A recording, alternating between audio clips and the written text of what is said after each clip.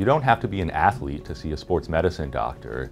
Sports medicine is a broad field that treats patients of all ages from head to toe who come in with different musculoskeletal conditions and injuries. My care philosophy is to treat patients how I would want to be treated and taken care of. And that involves first establishing a patient-physician relationship of trust. It involves giving patients the time that they deserve and that they need in the office, and then also educating patients on their diagnosis and the various treatment options so ultimately they can make good and well-informed decisions. Most injuries, more than 90%, do not require surgery, and my job as a physiatrist is to employ non-surgical techniques to treat these different injuries. Being a physician was definitely my calling in life. I love what I do every day.